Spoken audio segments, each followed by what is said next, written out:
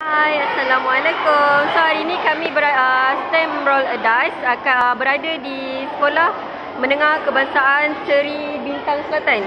Seri Bintang Selatan dan kita adakan pameran daripada pukul 8 pagi sampai pukul uh, 2 petang. Jadi uh, stay tune dekat sini sebab kita akan kita akan ada dekat sini daripada hari Selasa sampai hari Khamis sampai daripada pukul 9 pagi sampai 2 petang. Bye. Okey, nama saya Iskandar dan Fariha. okey jumpa lagi.